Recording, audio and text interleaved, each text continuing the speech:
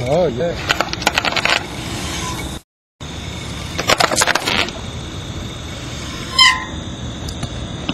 Nineteen punctures, every single one of them sealed. Nineteen punctures in each tire.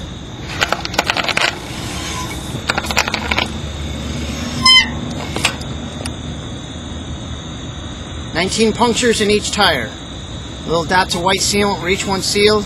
Today we're going to do a little puncture test. We're using a 14 gauge spoke. We're going right through the sidewalls in one side, out the other side. As you can see how quick they seal. You can see a little spray come out the back side. Now we'll go on to an eighth inch nail right in the bottom of the tire.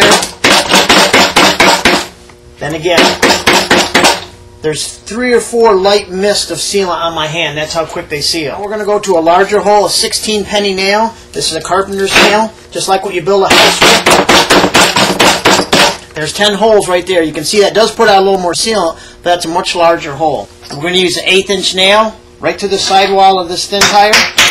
You can hear it pop. All of those go to a larger nail, 16 penny nail right to the sidewall. You hear them popping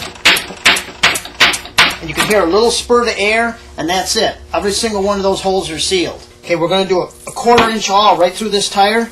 I'm going to pull it out. As you hear, as soon as the seal hits it, it shuts right up and it's silent.